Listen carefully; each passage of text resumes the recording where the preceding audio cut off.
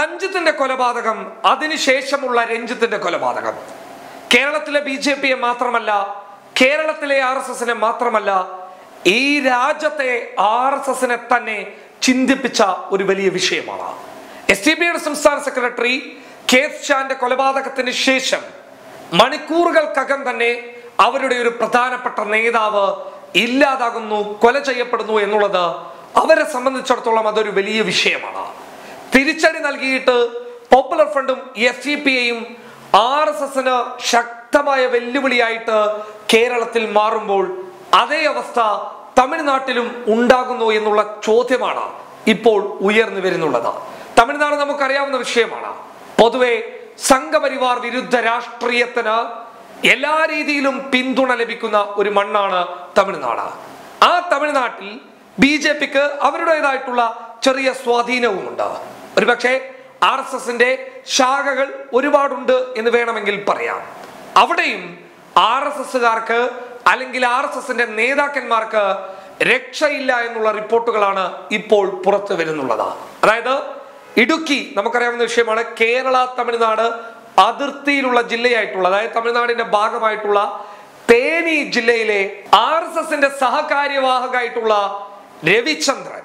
രവിചന്ദ്രനെ ഒരു സംഘം ആളുകൾ വെട്ടിക്കൊലപ്പെടുത്താൻ ശ്രമിച്ചിരിക്കുന്നു എന്നുള്ള വാർത്തകളാണ് ഇപ്പോൾ പുറത്തു വരുന്നുള്ളത്. രവിചന്ദ്രൻ തേനി ജില്ലയിലെ ആർ എസ് എസിന്റെ നിറസാന്നിധ്യമാണ്. ആർ എസ് എസിന്റെ പ്രമുഖനായ നേതാവാണ്. ബി ജെ പിക്കാർക്കിടയിൽ ആർ എസ് എസുകാർക്കിടയിൽ നല്ല സ്വാധീനമുള്ള നേതാവാണ്.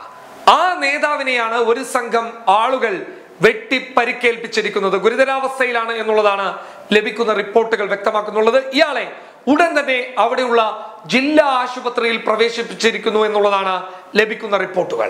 ശക്തമായ പ്രതിഷേധമായിരുന്നു തേനി ജില്ലയിലെ സംഘപരിവാർ ഈ വിഷയത്തിൽ അറിയിച്ചത്. പോപ്പുലർ ഫ്രണ്ടും എസ് ടി പി യുമാണ് ഇതിന് പിന്നിൽ എന്നാണ് സംഘപരിവാർ ഈ വിഷയത്തിൽ പ്രതി പ്രതികരിക്കുന്നുള്ളത്. അതായത് ശക്തമായ പ്രതിഷേധം രേഖപ്പെടുത്തുന്നുള്ളത്. അവർ പറയുന്നത് പോപ്പുലർ ഫ്രണ്ടിന്റെ അജണ്ടയുടെ ഭാഗമായിട്ടാണ് തങ്ങളുടെ നേതാവിന് വെട്ടേറ്റത് എന്നുള്ളതാണ് അവർ പറയുന്ന കാര്യങ്ങൾ. എന്നാൽ അവിടെ മറ്റു ചില സംഭവ വികാസങ്ങൾ ഉണ്ടായിട്ടുണ്ട് എന്നുള്ളതാണ് ലഭിക്കുന്ന റിപ്പോർട്ടുകൾ വ്യക്തമാക്കുന്നുള്ളത്.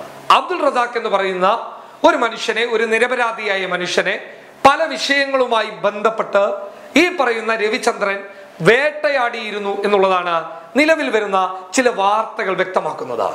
ഈ വിഷയവുമായി ബന്ധപ്പെട്ട് അവിടെ ഒരു തർക്കമുണ്ടായിരുന്നു. ആ തർക്കമായിരിക്കാം ചിലപ്പോൾ ഇങ്ങനെയുള്ള ഒരു പ്രശ്നത്തിലേക്ക് പോയത് എന്നുള്ള നിരീക്ഷണത്തിലേക്കാണ് പോലീസുകാരൊക്കെ ഇപ്പോൾ പോകുന്നുള്ളത്. എന്നാൽ നിലവിൽ സംഘപരിവാർ പറയുന്നത് അതല്ല പോപ്പുലർ ഫ്രണ്ടുകാർ തന്നെയാണ് ചെയ്തിട്ടുള്ളത്. അബ്ദുൾ റസാഖിന്റെ വിഷയത്തിൽ അത് ഏറ്റുപിടിച്ച് പോപ്പുലർ ഫ്രണ്ടാണ് ഈ കാര്യം ചെയ്തത് എന്നാണ് സംഘപരിവാർ വലിയ രീതിയിൽ വിളിച്ചു പറയുന്നുള്ളത്. എന്നാൽ നിലവിൽ ഈ വിഷയവുമായി ബന്ധപ്പെട്ട് അന്വേഷണം നടക്കുകയാണ്. കേരളത്തിന് പുറമെ തമിഴ്നാട്ടിലെയും ആർ എസ് എസിന്റെ പ്രവർത്തകർക്ക് ആർ എസ് എസിന്റെ നേതാക്കന്മാർക്ക് ഇത്തരത്തിലുള്ള ആക്രമണം നേരിടേണ്ടി വരുന്ന കാരണം എന്താണ് എന്നുള്ളതാണ് സംഘപരിവാറിന്റെ കേരളത്തിലെയും തമിഴ്നാട്ടിലെയും നേതാക്കന്മാർ സോഷ്യൽ മീഡിയയിലൂടെ ചോദിക്കുന്നുള്ളത്. എന്തായാലും ഇതുമായി ബന്ധപ്പെട്ടിട്ട് കൂടുതൽ വിവരങ്ങളൊന്നും നിലവിൽ പുറത്തു വന്നിട്ടില്ല. News desk public Kerala.